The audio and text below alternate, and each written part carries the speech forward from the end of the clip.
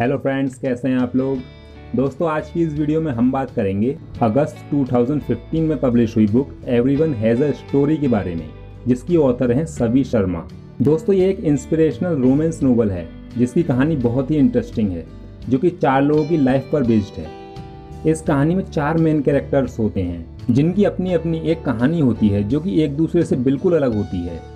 इस कहानी की फ़र्स्ट कैरेक्टर होती है मीरा, जो कि एक अनएक्सपीरियंस्ड राइटर होती है। और उसे एक ऐसी स्टोरी की तलाश होती है जो करोड़ों लोगों के दिलों को छू जाए।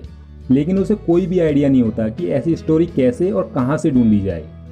कहानी का सेकंड कैरेक्टर होता है विवान, जो कि एक बैंक में असिस्टेंट ब्रांच मैनेजर होता है। विवान का एक सीक्रेट डिज़ायर होता है कि ये ज़िंदगी में एक बार वर्ल्ड ट्रेवल करना चाहता है और पूरी दुनिया को अपने नज़रिए से देखना चाहता है।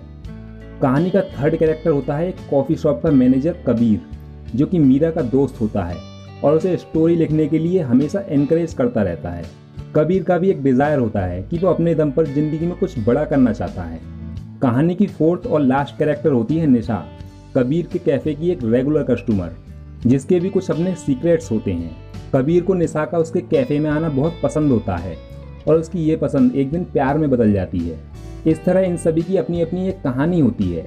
Everyone has their own story लेकिन क्या होता है, जब ये चारों कहानियाँ आपस में मिलती हैं, क्या ये सभी अपने अपने डिजायर्स अचीव कर पाते हैं? प्यार और दोस्ती की ये कहानियाँ क्या रंग लाती हैं? ये जानने के लिए दोस्तों, आपको इस बुक की पूरी कहानी पढ़नी होगी। मैं इसका स्पॉइलर देकर आपका इंटरेस्ट कम नहीं करना चाहता। दोस्तों, ये कहानी चार अलग अलग कहानियों की एक अनफॉर्गेटेबल कहानी है, जो कि लव फ्रेंडशिप और डिजायर्स पर बेस्ड है।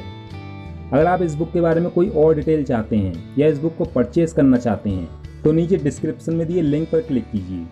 दोस्तों, ऐसी ही और इंटरेस्टिंग बुक्स के बारे में जानने के लिए वीडियो लाइक कीजिए और हमारा channel A to B subscribe कीजिए। तो दोस्तों, मिलते हैं अगली वीडियो में एक और इंटरेस्टिंग बुक की इंटरेस्टिंग कहानी के साथ। तब तक के लिए bye bye take care have a nice day